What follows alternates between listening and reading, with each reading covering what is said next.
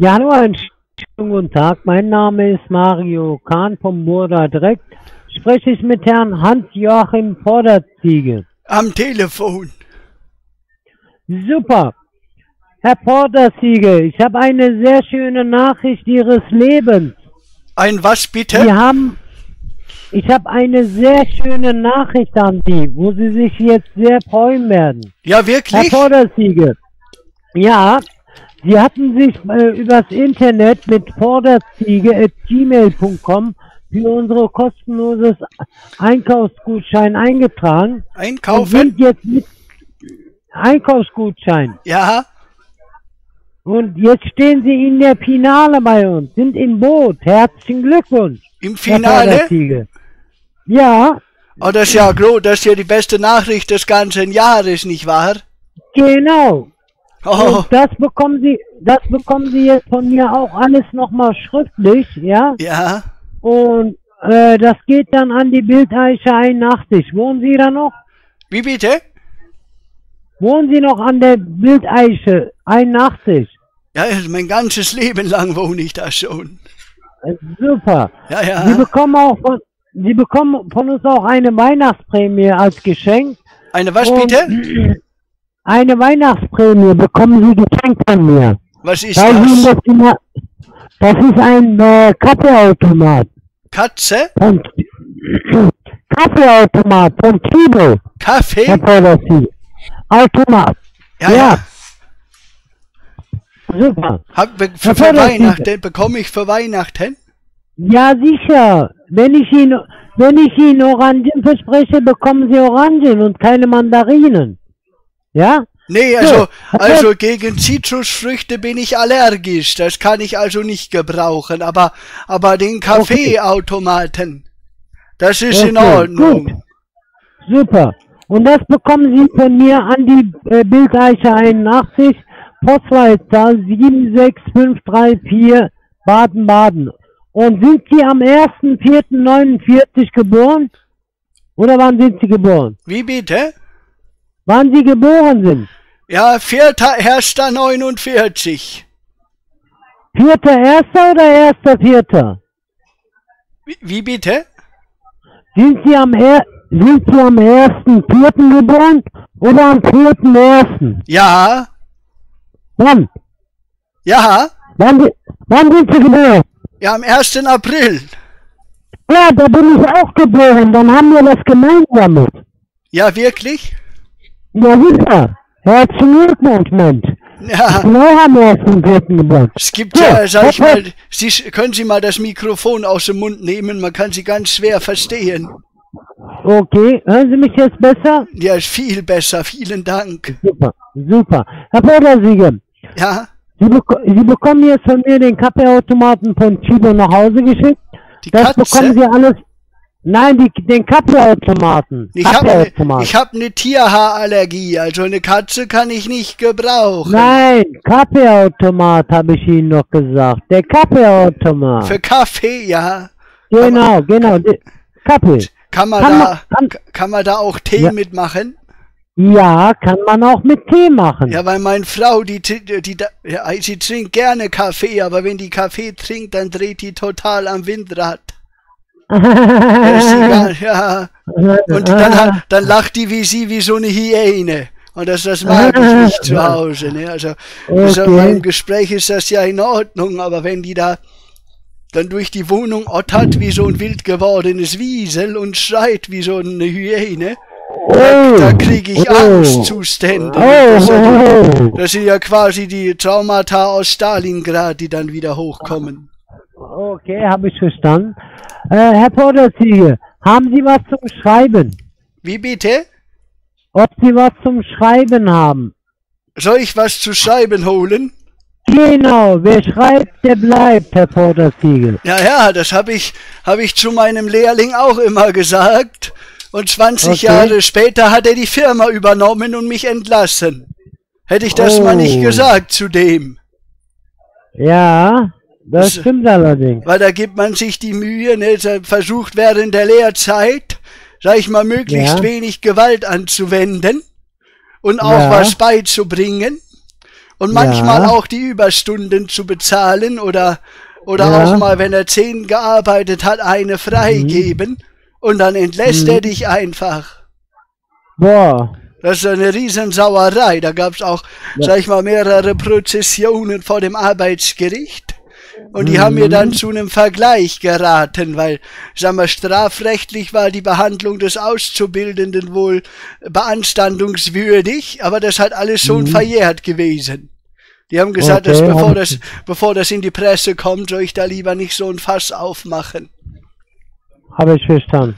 Haben Sie das Haben Problem auch schon mal gehabt? Nein, ich habe mich immer in der Ausbildung brav verhalten. Ah, sind Sie schon ausgelernt, ja? Ja, ja, ich bin gelernter Schlosser, Industriemechaniker. Tatsächlich. Ja, ich habe bei der Firma Firma äh, Delphi gelernt. Delfin?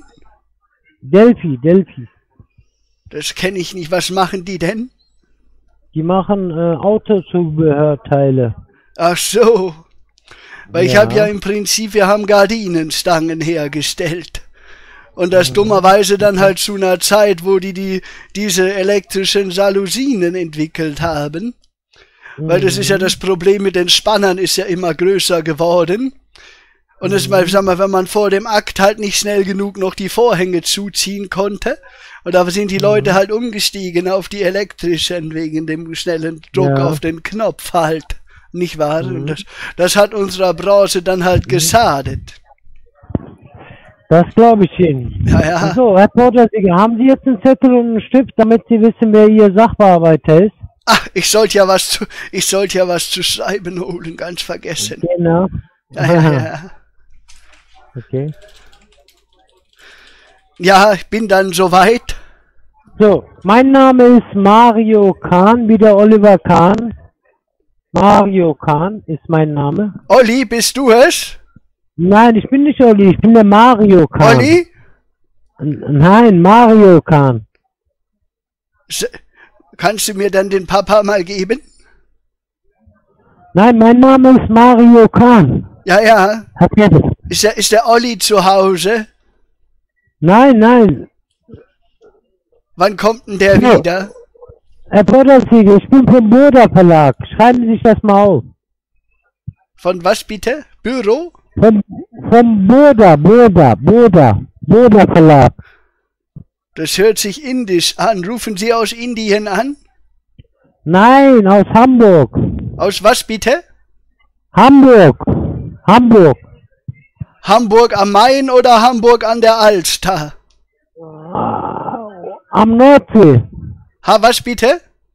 An der Nordsee, Hamburg. Ja, ja, aber es gibt ja noch ein anderes Hamburg. Da muss man ja fragen. Nein, nein. Okay. So. Äh, Sie werden jetzt äh, für die Preise ausgelost, ja?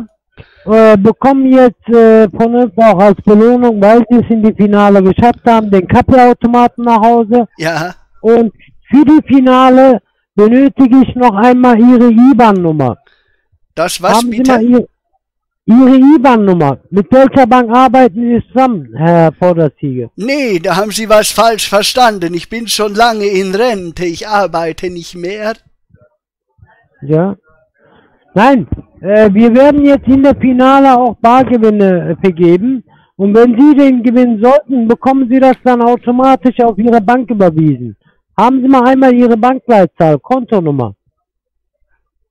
Hallo? Haben Sie mal Ihre Bankleitzahl und Kontonummer bitte. Haben Sie nicht gesagt, ich krieg einen Kaffeeautomaten? Ja, aber in der Finale werden Sie nochmal um unsere Einkaufsgutscheine und Bargeldgewinne ausgelost. Hartgeld? Ja? Nein, Bargeld. Das ist, ich, ich muss gerade mal kurz mein Hörgerät holen, ja? Ich kann Sie Ja, so schlecht gut. verstehen. Gleich okay, wieder da. Okay. bis Holen- gleich. Sie Ja.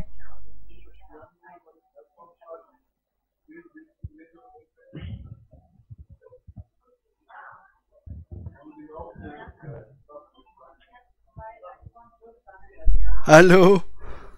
So, hören Sie mich besser, Herr Porterziege? Oh, bitte nicht so schreien. Okay. Hören Sie mich jetzt besser? Ja, ja. Ich kann Sie Super. hören. Also- Weswegen Super. hatten Sie angerufen?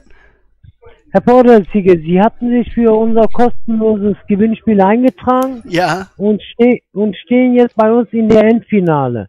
Und als Belohnung bekommen Sie auch von mir eine Weihnachtsprämie nach Hause geschickt, den Kaffeeautomaten. Und in der Finale werden Sie nochmal um Sachpreise und Bargeldbeträge ausgelost. Und die Gewinnbeträge im Bar, auf welche Bankverbindung darf dann Ihr Gewinnfall überwiesen werden, wenn Sie den Hauptgewinn erzielen? Wie viel Mit ist das Bank? denn? Das sind 1000 Euro. 1000 Euro? Muss Genau. Ich, muss ich alles aufschreiben. Ich kann mir keine Sachen mehr merken. Okay, gut. Und was für Sachgewinne gibt es da noch? Da, da gibt es Einkaufsgutscheine äh, von Mediamarkt, Saturn, Edeka, Rewe, Penny, Amazon. Ja? Und das wird sich dann in der Finale feststellen, welchen Platz sie erzielen. Ach so, Und für, für die Finale brauche ich noch einmal bitte Ihre IBAN-Nummer. Ivan, Genau, IBAN. woher kennen Sie den denn? Ja, das, das steht dann bei uns hier unter Datenschutz. Ja? Ja, haben Sie mal bitte einmal die IBAN-Nummer zum Vergleich. Soll ich den holen? Genau. Ich weiß zwar nicht, woher Sie den kennen, aber ja, ich mach das mal eben, ja? Einen Moment Ja. bitte. Ja, sicher. Da will dich jemand sprechen. Wer ist denn da? Ich hab's nicht ganz verstanden. Hallo? Ja, hallo, grüß Gott, mein Name ist Mario Kahn, mit wem spreche ich jetzt? Hier ist Ivan, Sie wollten mir sprechen. Ivan Vorderziege. Nein. Bagatov. Wie bitte? Bagatov ist mein Name. Äh, den Hans-Joachim Vorderziege hätte ich gerne gesprochen. Der sagte, hier will jemand Ivan sprechen. Nein, nicht Ivan, das hat der falsch verstanden. Kann ich den bitte mal sprechen? Ja, weiß ich, ich hier nur Kühlschrank reparieren. Ich weiß ich nicht. Ich gehe, warte. Nein, nein, nein, Was, nein. Der, will, Sie- der wollte nicht mit mir sprechen. Warum geben Sie mir Telefon? Der hat gesagt, er will mit dem Ivan reden. Das habe ich auch Nein. gesagt, aber der... Da ich, ich muss Nein. arbeiten. Ich habe 14 Minuten Feierabend. Na gut, kriegen Sie das denn heute noch fertig? Ja, vielleicht müssen wir tauschen Motor. Ich muss jetzt einen Test machen mit Coolaggregaten. Sie bitte bei diesem Mann sprechen. Hallo? Hallo, Vorderziege. Sie haben Äh, doch gesagt, Sie wollen mit dem Ivan reden. Nein, ich habe gesagt, ich möchte Ihre IBAN hören. Die IBAN-Nummer, Ihre Bankverbindung. Wozu denn? damit, damit ich das in die Finale eintragen kann, damit die Gewinne äh, per Online-Banking überwiesen werden können, wenn Sie den Hauptgewinn erzielen. Ja? Wenn was bitte? Können Sie ein Damit bisschen die Bar- langsamer sprechen? Damit die Bargewinne ausgezahlt werden können, wenn Sie gewinnen. Ja? Also Haben die mal die- Maschine, ja? Haben Sie mal die, Ihre IBAN? Ist da denn Garantie drauf? Oder Gewährleistung? Hallo? Haben Sie mal Ihre, haben Sie mal Ihre Bankleitzahl, Kontonummer? nee, nee, warum das? Ich hab doch eine Maschine, kann man doch nicht überweisen, nicht wahr? Nein, das wird doch automatisch per Online-Banking überwiesen, Herr Vorderziege. Die Kaffeemaschine.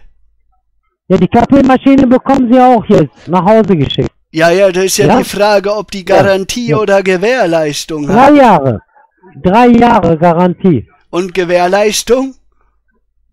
Drei Jahre. Was ist denn der Unterschied zwischen Garantie und Gewährleistung? Ich verstehe das nie.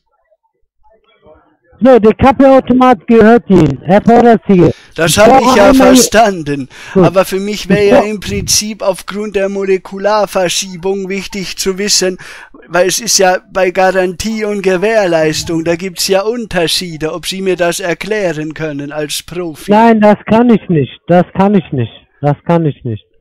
Ich- So, ich brauche einmal Ihre Sie- Bankleitzahl. und- Sind Sie noch in der Ausbildung? Nein. Da müssen Sie sowas doch wissen. Nein, Herr Vorderziege, ich brauche einmal Ihre Bankverbindung. Also mein Haben Sie Fra Ihre Bankverbindung? ich habe ja im. Prinzip, ich habe ja im Prinzip kein eigenes Konto mehr. Das habe ich abgeben müssen wegen der Pfändung. Okay. Gut, dann hat sich das doch alles erledigt. Dankeschön. Soll ich Sie, mein Frau... Schon, jetzt wollte ich gerade noch Dorian ans Telefon holen.